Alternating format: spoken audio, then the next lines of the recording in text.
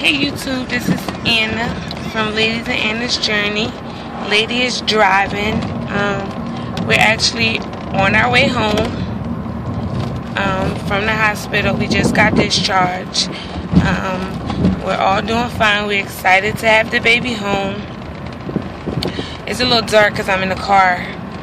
Um, so I'm sorry about that. Uh, we just wanted to do a quick update. Um, so I'm doing well after my C-section. I'm up, walking around.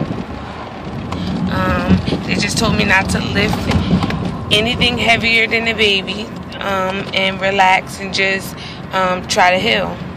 So that's what I plan on doing.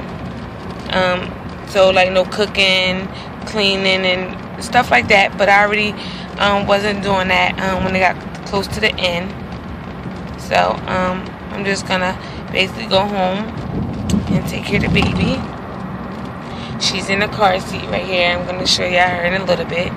Um, and you want to say something? No?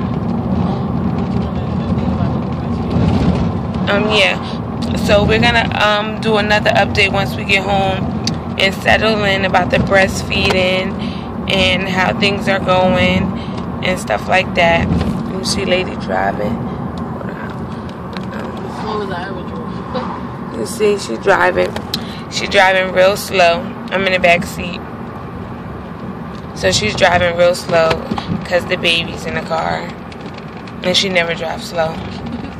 So it's probably killing her right now to even be driving this slow. It's like riding a bike to her. so um, gonna show you a quick view of the baby. Hold on.